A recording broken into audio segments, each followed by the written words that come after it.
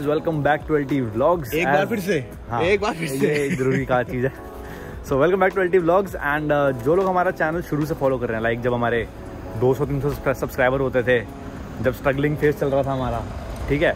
तो उस टाइम हमने एक वीडियो डाली थी जिसमें हमने बताया था कि चीपेस्ट यूनिवर्सिटीज़ कौन सी ऑस्ट्रेलिया अगर आप आने का प्लान कर रहे हो ठीक है? तो आज की वीडियो उससे ही रिलेटेड है कुछ। इसमें हम आपको बताएँगे कि अगर आप पर्थ आना चाह रहे हो स्पेसिफिकली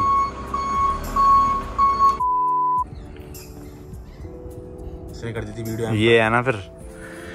हाँ तो कहाँ थे हम? हाँ क्या? हाँ अगर आप पर्थ आने का प्लान कर रहे हो तो आज की वीडियो में आपको बताएँगे कि फाइव यूनिवर्सिटी जो पर्थ में है उनकी लोकेशन क्या क्या है किस किस कोर्स के लिए वो स्पेसिफिकली फ़ेमस है तो यार आपको आसानी हो जाएगी चूज़ करने में कि यार मेरा ये कोर्स है तो मैं इस यूनिवर्सिटी में जाऊँ और ये कोर्स है तो ये यूनिवर्सिटी में जाऊँ। तो बस शुरू करते हैं। भाई अभी हम आ रखे हैं ऑप्टस के साइड में।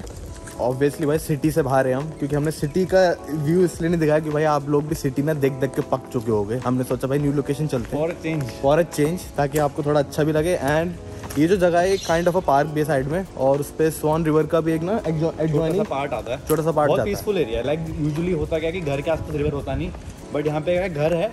घर खत्म होते रिवर स्टार्ट है तो बहुत ही है ना आपको यूरोपियन फील जाएँगे यहाँ पे। और यहाँ के घर भी भाई देख सकते हैं काफ़ी पॉश एरिया है ये बंगलोस टाइप चलते। जाएँगे हम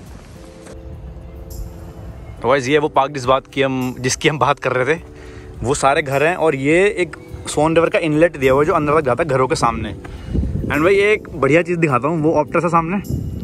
और ये देखो पानी में ना ये दिया हुआ फाइव फाइव नॉट्स की स्पीड लिमिट ठीक है? तो यहाँ पे बोट्स वगैरह को इस स्पीड लिमिट के दायरे में रहना होता है। एंड जैसे वो एक बोट भी आ रही है। हम भी ले लेंगे एक boat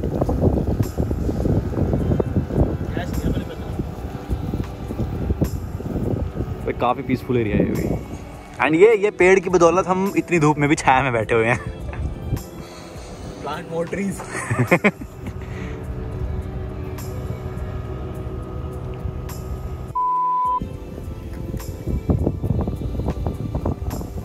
so sir are you ready mic ready तो भाई सबसे पहले हम बात करते हैं मर्डोक यूनिवर्सिटी की।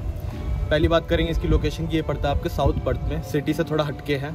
एंड जितने भी स्टूडेंट जिनका भाई मेन फोकस इंजीनियरिंग कोर्सेज के ऊपर या जो बेसिकली साइंस बैकग्राउंड से हैं तो भाई ये यूनि उनके लिए बेस्ट है बिकॉज़ इनकी स्पेशलाइजेशन इंजीनियरिंग कोर्सेज के ऊपर ही ज़्यादा है। ये नहीं कह रहा कि भाई इनके और कोर्सेज बेकार हैं तो कमेंट में आग मत लगाना कि भाई इनके कॉमर्स के कोर्सेज भी अच्छे हैं आर्ट्स के कोर्सेज भी अच्छे हैं, वो भी अच्छे हैं। बट इनकी मेन स्पेशलाइजेशन भाई इंजीनियरिंग में, इनकी उसकी रिसर्च फैसिलिटीज़ काफ़ी अच्छी है।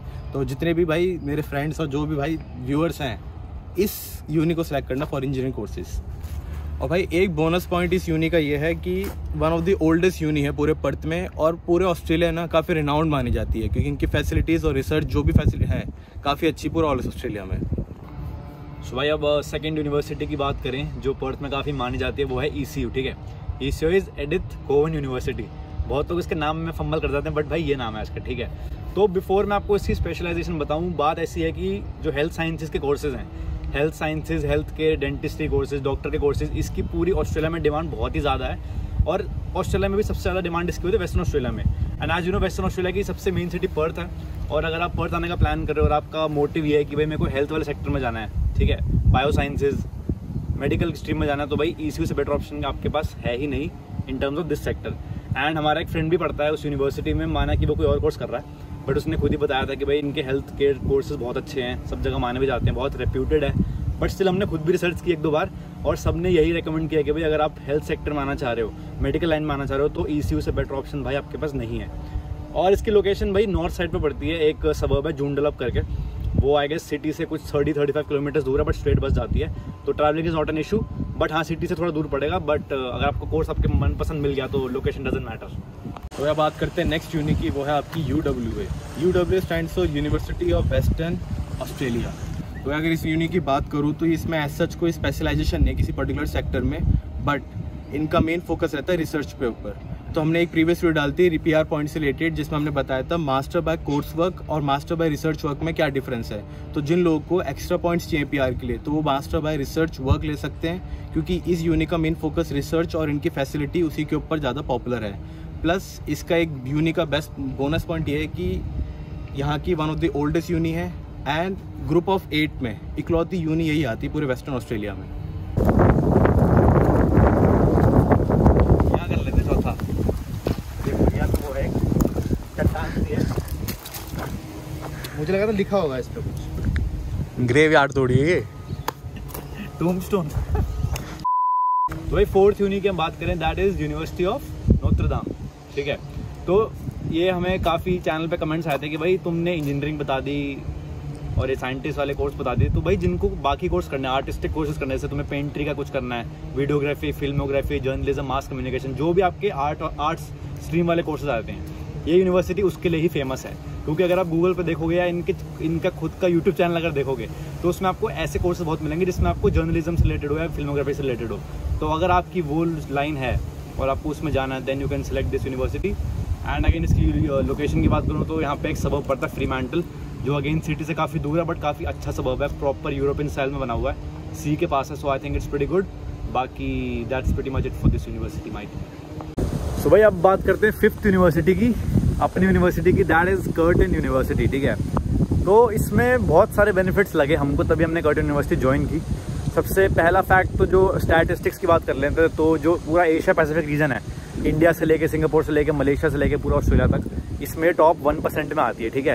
एंड इनका जो बिज़नेस एंड लॉ स्कूल है, उसकी जो रिकग्निशन है that is established all around the world इसलिए ये भी एक रीज़न था कि हमने पर्टिकुलरली यहाँ पे एक बिज़नेस कोर्स लिया अलॉन्ग विद आईटी क्योंकि आईटी की डिमांड हर जगह है एंड बिज़नेस की डिमांड की स्कोप बहुत ज़्यादा है तो it was a no brainer decision for us and भाई, इस यूनी के बारे में आपको मोर इंटरेस्टिंग फैक्ट्स बात होता हूँ तो ये है कि पूरे यू डब्ल्यू एम है जितनी मैंने आपको यूनिवर्सिटीज़ बताई हैं, आपको पाँच, उनमें से सबसे यंग यूनिवर्सिटी यही है।